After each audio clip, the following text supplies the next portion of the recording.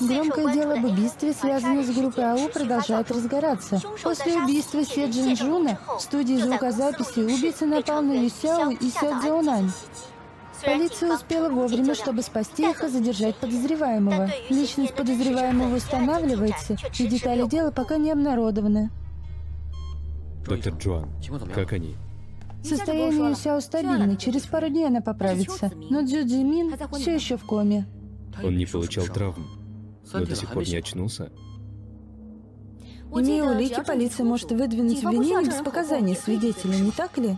У него есть алиби? Алиби нет, и у нас недостаточно прямых улик.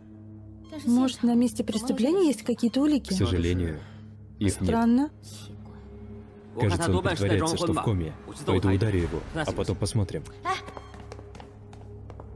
Его физические показатели не вызывают сомнений. Согласно его сердцебиению и дыханию, он находится в коме. Сейчас мы проверяем скрытые заболевания, так что нам остается только ждать.